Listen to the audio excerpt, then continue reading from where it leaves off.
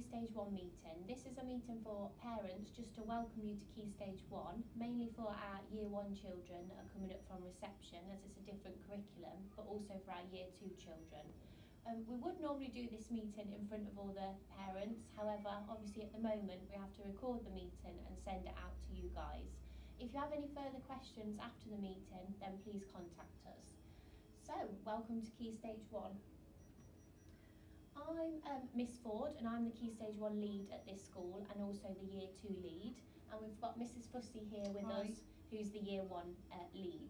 So if we want to meet the team, we've got Mrs Fussy, who um, is in charge of Year 1. We've got Mrs Ireland, Mrs Shilton and Mrs Lindsay that are teachers in Year 1. Mrs Shilton and Mrs Lindsay job share. Um, and then we've got different teaching assistants that sometimes they're based in the classroom but they tend to work across all the classes. We've got Mrs Stringer, Mrs Lack, Mrs Anderson, Mrs Hughes, Miss Smith, Mrs Probert and Mrs Miners who works across year one and year two.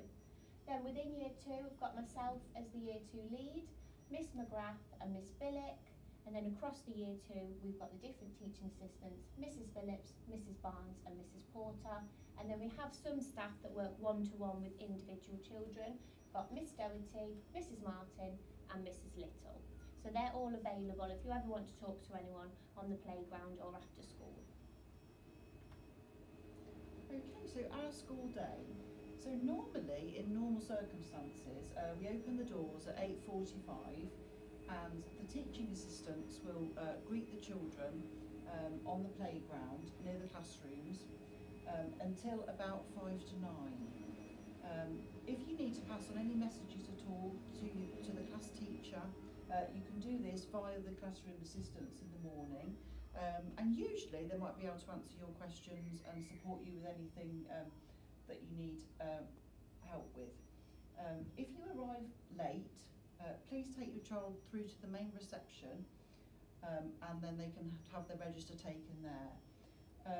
At the moment, with the different circumstances, uh, children are arriving at different designated times um, and then teachers and teaching assistants are both out in the morning to greet the children um, and get to know the new children and their families. Um, our daily timetable uh, can change, but we have a general structure which we tend to follow. Um, and the beginning of the day will start with assembly, um, maths and then phonics. These subjects go on throughout the morning and then in the afternoon it's where the children do their more creative topic-based learning um, such as history, geography, music, art, design, RE and PHC and all of those others. Um, at the very end of the day, uh, at 3.05, the children come out onto the playground with their class um, in the class in their class line and we do ask parents to stand back on the playground so that the children can see you and also that the teachers can see you clearly. Um, and then we like to release the children safely by matching them to their adult that's collecting them. So we ask the children just to see if they can spot you and if they can spot you they give us a little wave.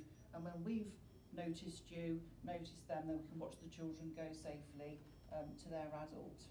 Um, we do ask if your child's being picked up by another grown-up um, that isn't the usual grown-up that collects them, if you just let the teaching assistant know in the morning or the teacher, um, then that just um, helps us to make sure that the children are released safely. Um, I think that's it. At the moment though, the children are leaving at their designated time um, and we ask the parents to wait on the yellow feet. Uh, we're releasing the children in a different way to how we normally do, so we're releasing the child to the adult that's at the front of the line. Okay, lovely.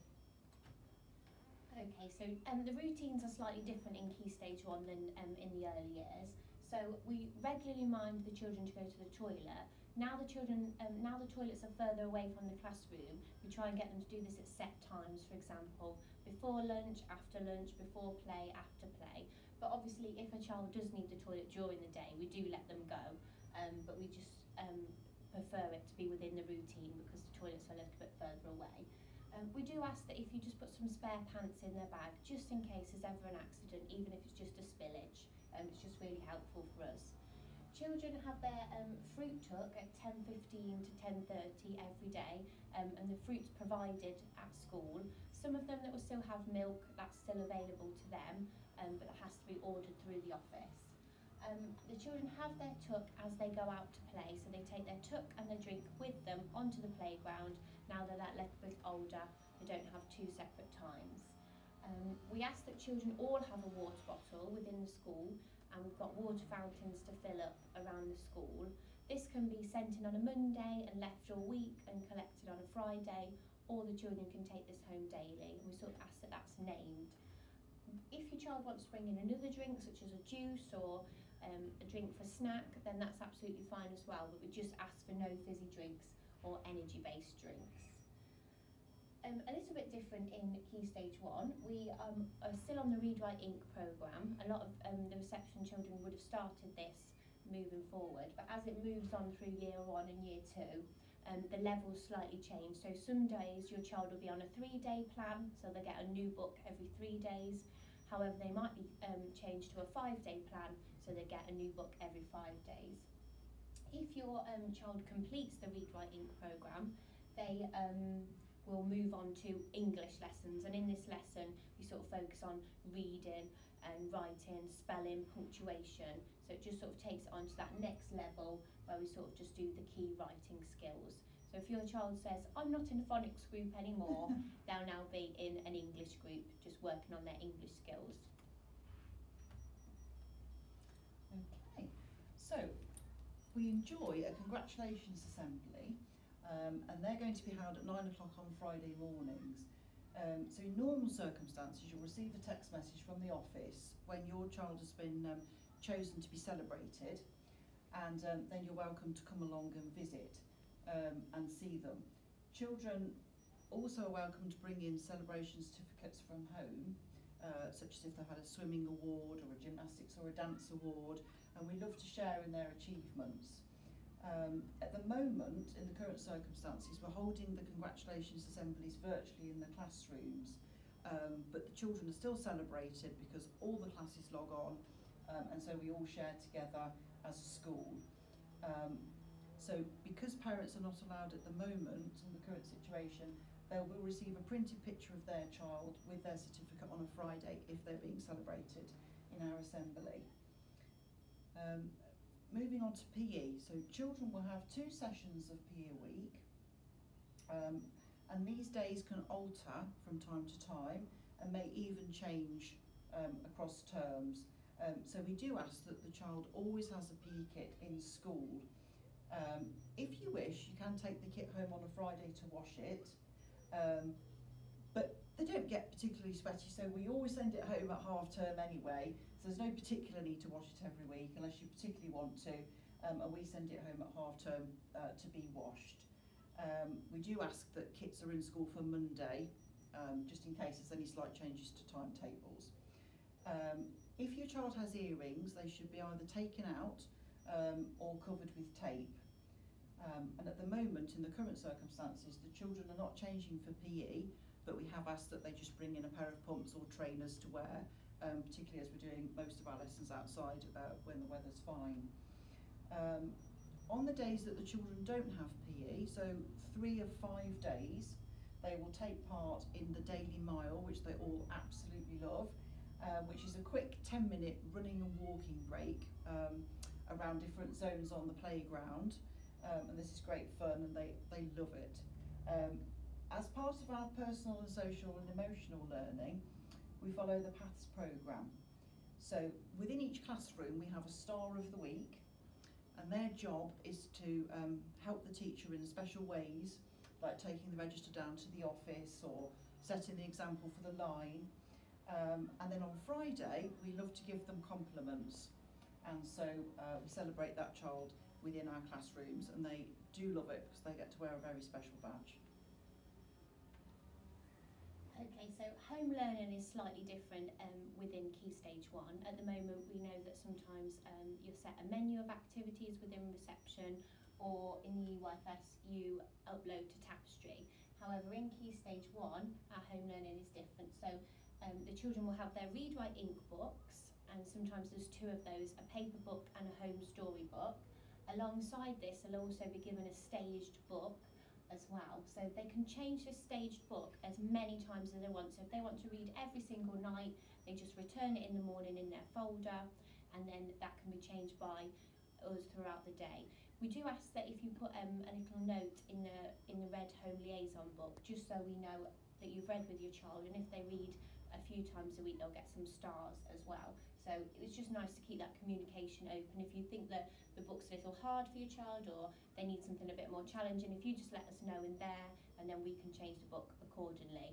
But we do ask that the child gives us the folder with the book. So we remind them every single morning to bring it in and change it, but sometimes it might just be worth you reminding them as well um, that they can change it. But we do hope that this is changed at least once a week, really. Um, on a Friday, the children will be given a maths activity sheet as their homework. This is usually based on something we've been learning that week, so they've got the skills um, to help them. So if we've been doing a week on addition, then it will be an addition-based sheet. So they will always know um, the methods that are used on the sheet, and we do try and display these. But if there's any um, any need any extra support with that, that's absolutely fine because we know the methods that we teach now are different than from the methods that um, we might have learnt as parents. So uh, just please feel free to come in and we can explain those um, easily to you. And then before um, the end of each half term, we'll send out a, a topic fact file for the next half term. And this will contain um, key images and key vocab for your child to learn over that half term, ready for the next half term. So the next topic's going to be on um, the Great Fire of London, then it would be good for them to learn where London is, London's a city, all that sort of vocab. And then at the beginning of that half term, we'll send out an activity um, sheet with a menu of lots of different homework ideas. So um, this could be building and creating things, it could be drawing pictures, it could be visiting a museum, lots of different things linked to the homework and the topic. But you can just choose from that menu what you and your child sort of prefer to do together. And we love getting these into school and um, we've had some fantastic yeah. displays, um, so no it's pressure, but enjoy. Yeah, it's been wonderful. Okay, so just some dates for your diary really. We um, do have some assessments uh, within Key Stage 1 um, and these take place in May and June. So in June, uh, Year 1 pupils will complete a phonics screening test um, and in May, uh, in Year 2, pupils will complete their SATs tests. Um, but there's no need to worry about those yet. We do have lots of information a lot nearer the time to support you with these, um, including letters and meetings, and they'll be held prior to both May and June. Um, we usually hand out some different resources to parents at, at this meeting, so we can give the um, year one parents a year one overview of the curriculum and a year two overview, and then we also hand out some um, resources of um, what we call the year one common exception words and the year two common exception words. So the year one words are a list of words that the children should be able to read and write by the end of year one. And similarly with the year two, a list of words that children should be able to read and write by the end of year two. Um, we're also working really hard on letter formation now the children have moved into key stage one um, and we send this out as well. So just the way that the letters all sit on the line, the ascenders, the descenders, and then moving on into year two, the children will start to use letter join to join their handwriting. So obviously we can't give those out today, so what we're going to do is upload these resources um, as a document alongside the PowerPoint that we've discussed today. Um, if you haven't got any access to printing these out or you're having difficulties downloading them, just please let um, either myself or Mrs Fussy know or one of the ladies in the office and we can get those to you in, in your child's book bag. And obviously, we can't take any live questions, but if you do have any questions or there's something you're a little bit unsure about that's slightly different now that your child's either in year one now that your child's in year two, then please do either come and find myself or Mrs. Fussy or um, arrange a phone call. And we also have the email option open available as well to contact us, and they're all um, available in the home learning section. So it's been lovely, um, not to meet you all, but it's been lovely to um, share Key Stage 1 with you and um, just come and find us if you need anything. thank you for listening. Yeah, thank you.